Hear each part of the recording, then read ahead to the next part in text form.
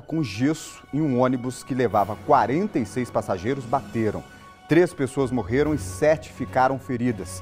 Quem está acompanhando este assunto desde a manhã de hoje é o Paulo Barbosa, que traz a atualização deste caso, né, Paulo? Bom dia para você. Que triste, né?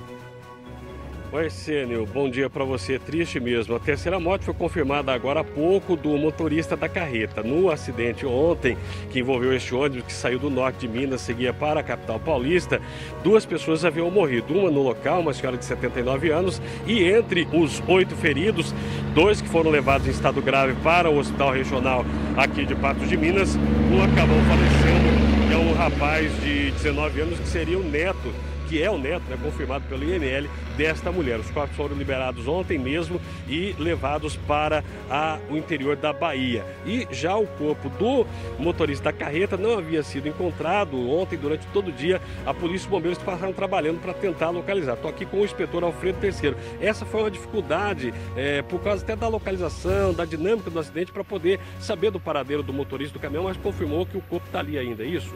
Perfeitamente, infelizmente, confirmamos o óbito do rapaz, né, do motorista, e como você muito bem disse, em razão da, da dinâmica do acidente, das energias envolvidas ali, houve a reviravolta de terras ali e a própria carga, que era gesso, eh, poderia ter soterrado o corpo, né? mas foi localizado agora de manhã. Com relação à situação do ônibus, a gente viu que o ônibus ainda está aqui na beira da rodovia, é, os funcionários da empresa estão ali tentando consertar ele para seguir viagem. Como é que está a situação deste ônibus?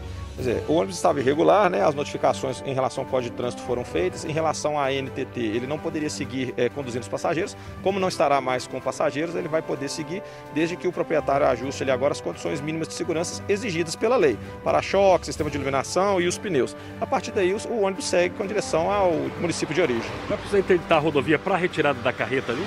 Não, não vai ser necessário, porque ela está na faixa de domínio, uma área bastante larga, e ali a própria terra dá condição do MUNC, do trator trabalhar. Então a gente acredita que vamos colocar a prancha lá, o caminhão vai ser colocado em cima da prancha ali e dali mesmo ela já sai, já sem necessidade de interdição. Tá bom, terceiro, muito obrigado pela sua participação. Com relação aos feridos que estão no hospital regional, o hospital, infelizmente, Arsênio não informa a situação do estado de saúde dos sete feridos que foram levados ali para o regional de Patos de Minas. Eu volto com você. Obrigado pelas informações, viu, Paulo?